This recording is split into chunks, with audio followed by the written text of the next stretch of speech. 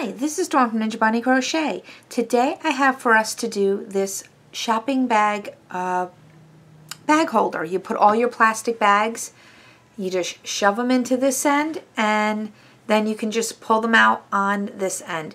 This is a really easy project to do and it's really, um, I just really like this project. It's a convenient um, way to hold all your plastic shopping bags so that you can reuse those bags.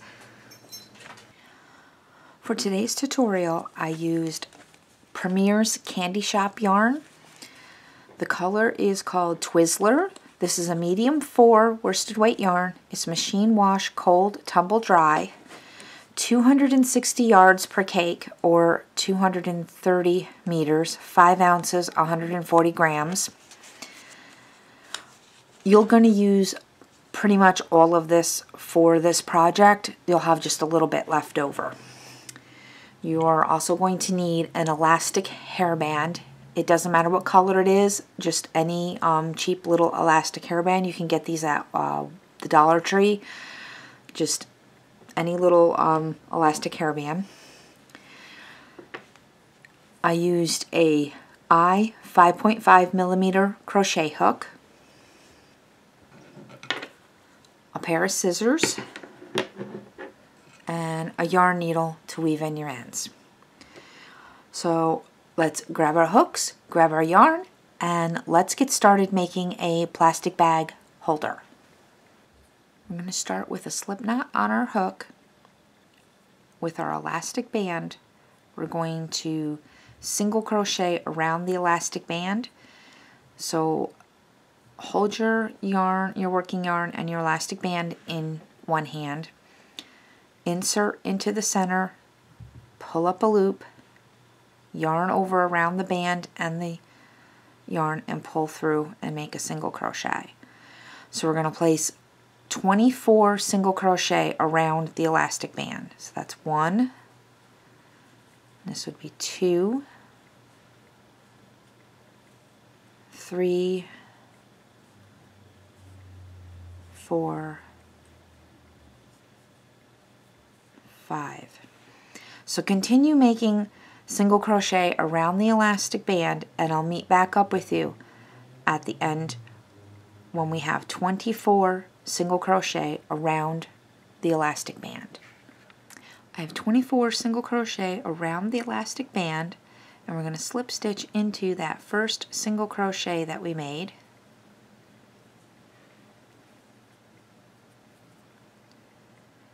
Now to start row one, we're going to chain up two. It doesn't count as a stitch. And we're going to half double crochet into that same stitch that we just slip stitched into.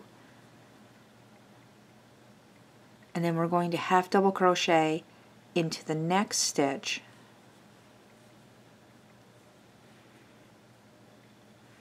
and then we're going to place two half double crochets into the next.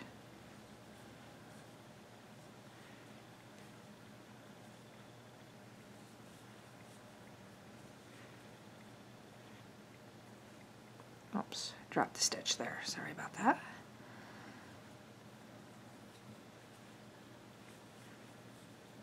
There we go.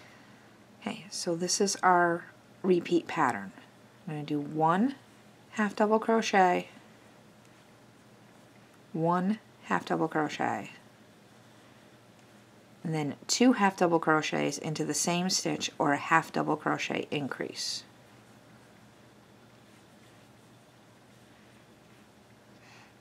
So please repeat that all the way around. So it's one, one, two. And I'll meet up with you at the end of the row.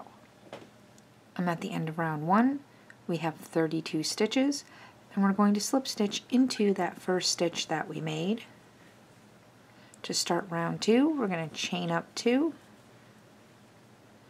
and we're going to half double crochet back into that same stitch that we just slip stitched into and into the next two stitches.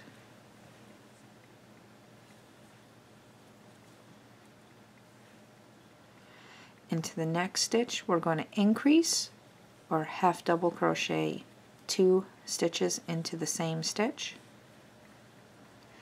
And this will be our repeat pattern. So we're going to half double crochet into the next three stitches. One, two,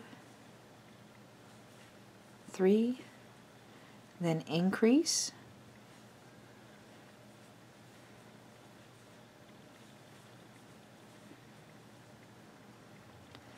So it's one half double, one half double, one half double, two half doubles.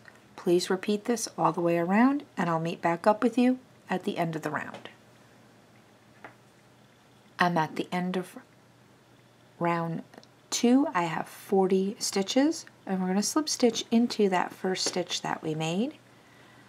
To start row three, we're going to chain up two and half double crochet into that first stitch that we made and we're going to half double crochet into the next three stitches.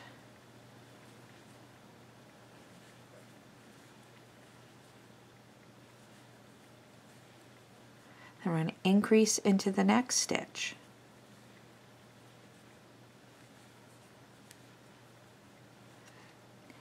And that's our pattern. We're going to go one, two, three, and four, and then increase into the next.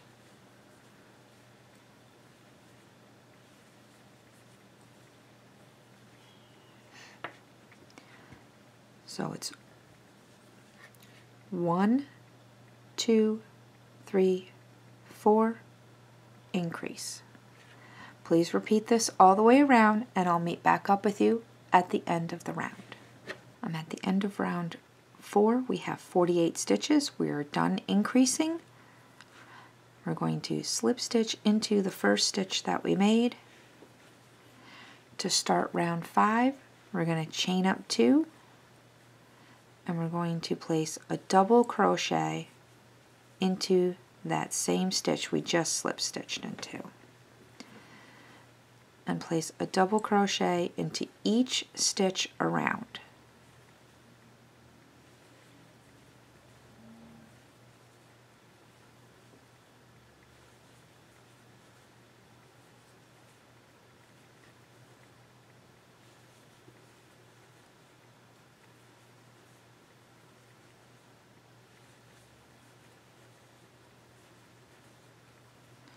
So continue placing double crochets in each stitch around till you get back to the beginning and I'll meet back up with you at the end of the round.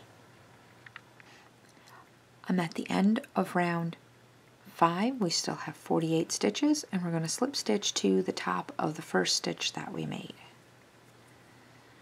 To start row 6 we're going to chain up 2 and we're going to double crochet in the same stitch we just slip stitched into.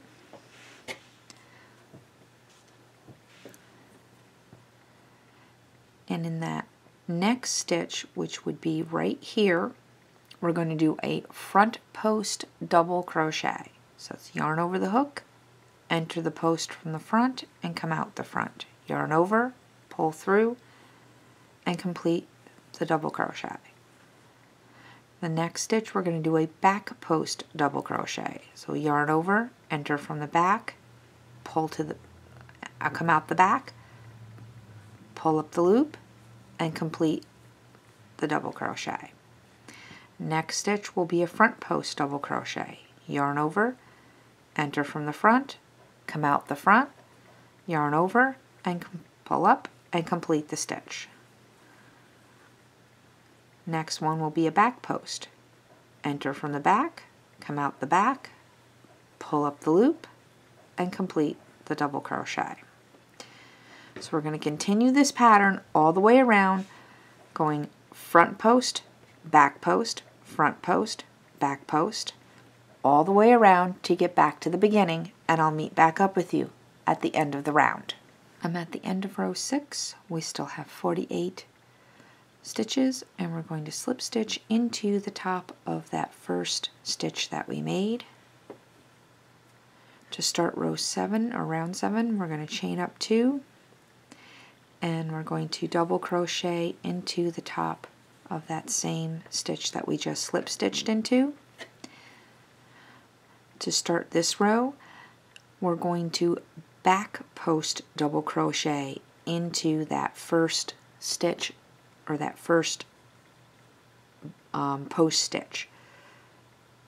So we're going to insert from the back and come out the back.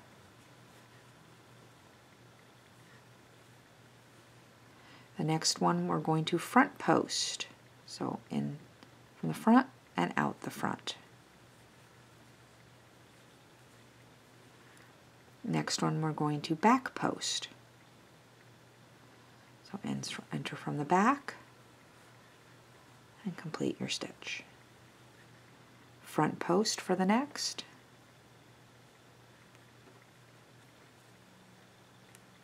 So we're doing the opposite stitch in the next row. So this is this one is a front post, so we're going to do a back post. And we're going to do a front post on the next stitch.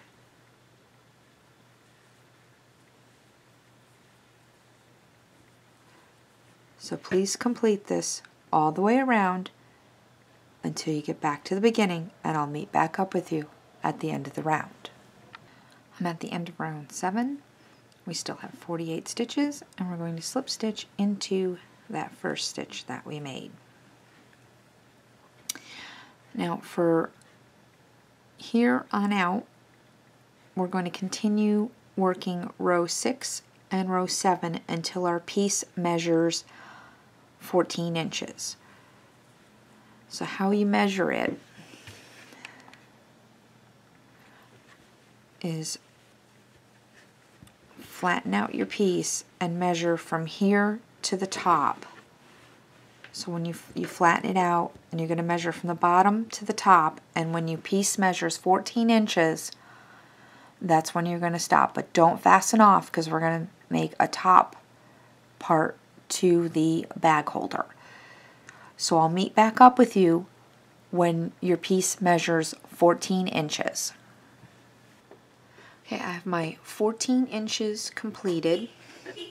How you measure this is you flatten out your piece, take your tape measure, measure from the top to the bottom 14 inches.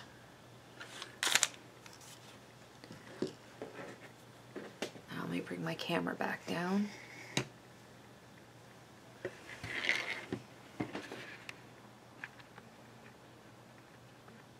So now we can start on the top part of our bag holder here.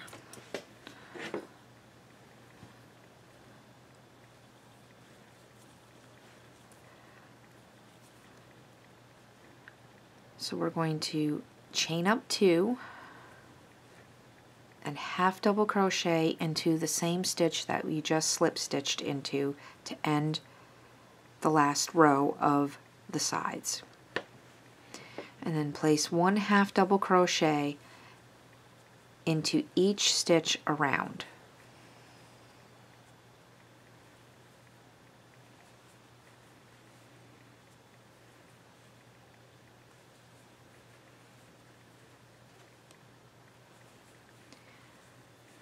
Please continue with this until you get back to the beginning and I'll meet up with you at the end of the round. I'm at the end of round one for the top and we're going to slip stitch into the first half double crochet that we made. To start round two, we're going to chain up two and we're going to make a double crochet into the same stitch that we just slip stitched into. Chain one, skip the next stitch and double crochet into the next chain one, skip the next stitch, and double crochet into the next. Chain one, skip the next stitch, and double crochet into the next. Chain one, and we're going to repeat this pattern all the way around till we get back to the beginning and I'll meet back up with you at the end of the round. I'm at the end of the round. I made my last double crochet and chain one and now I'm going to slip stitch into that first double crochet that we made. Remember the chain two doesn't count so you go into the double crochet not the chain two. We're going to chain two to start round three half double crochet into that same stitch that we just slip stitched into. Half double crochet into the chain one space. Half double crochet into the next stitch. Uh, careful your yarn doesn't split like mine just did. Half double crochet into the chain space and then half double crochet into the next stitch and into the next chain space. So repeat this all the way around and I'll meet back up with you at the end of the round. I'm at the end of round three. We still have 48 stitches. We've had 48 stitches throughout this whole project. So we're going to slip stitch into that last half double or that first half double crochet and fasten off.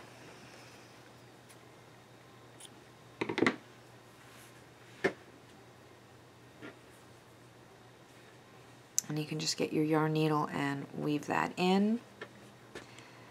And now we can start on the strap.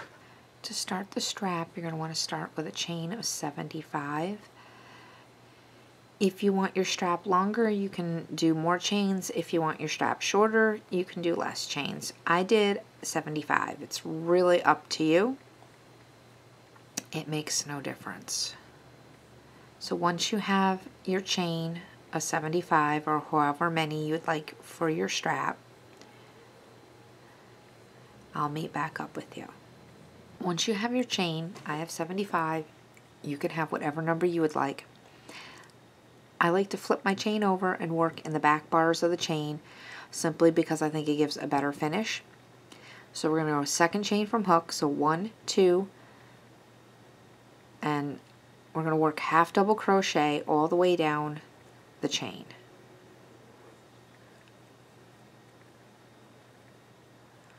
Once you get to the end of the chain, fasten off but leave enough of a tail that you'll be able to sew the two ends together once we put it inside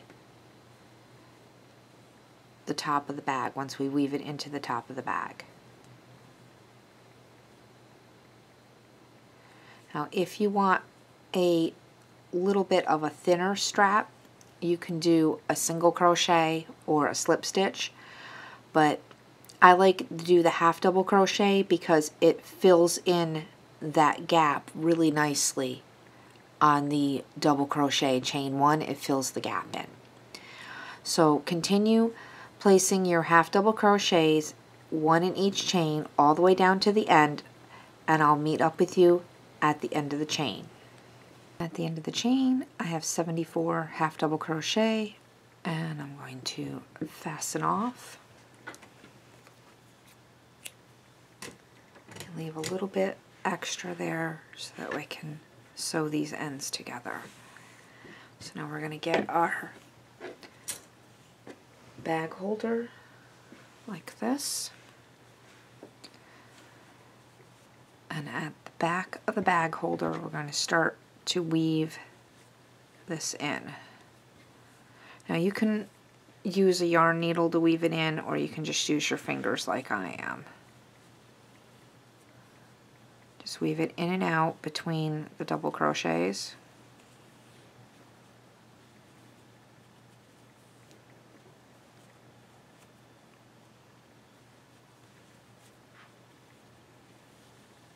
Just like that. And go all the way around the back.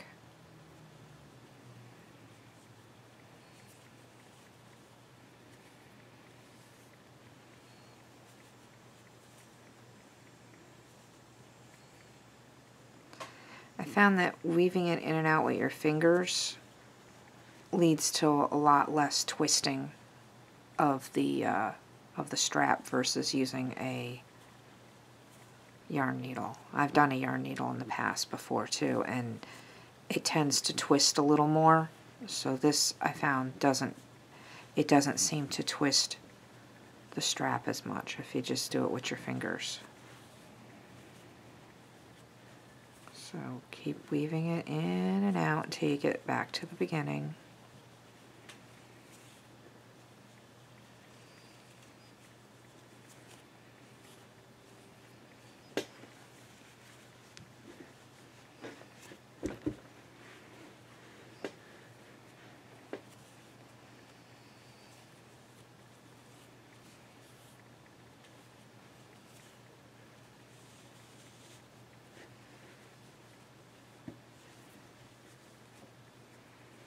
Plus you can also take this side too and pop it through like that.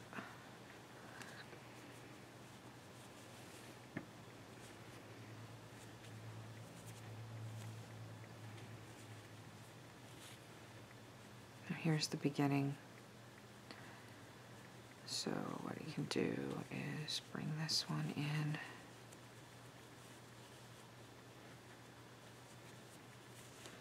Just like that. It doesn't really matter exactly where you end as long as they meet together at some point. It can be exactly on the seam, it could be next to the seam, it really doesn't, it really makes no difference. And grab up your yarn needle and you're going to sew these ends together. So take your longer end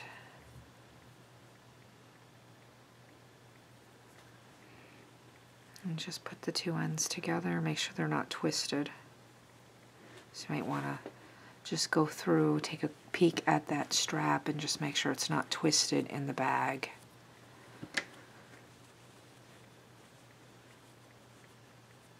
So if it's twisted, just go through and untwist it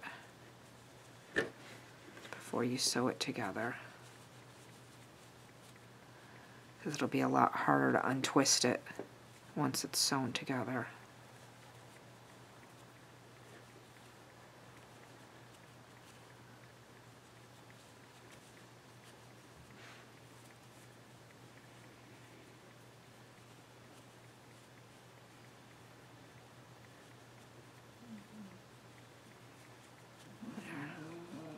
So that way it's, they don't have any twists in it.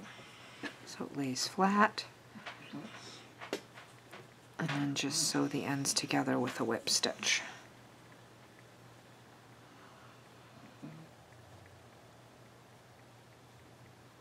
The ends together and just whip stitch them together. Real simple.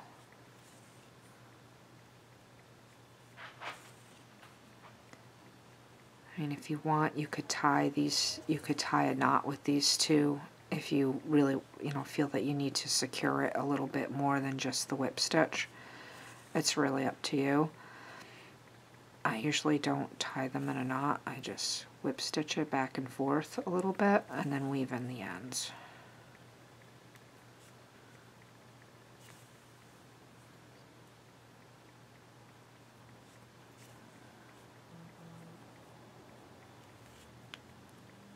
Just like that and then weave these ends in and you'll be all set.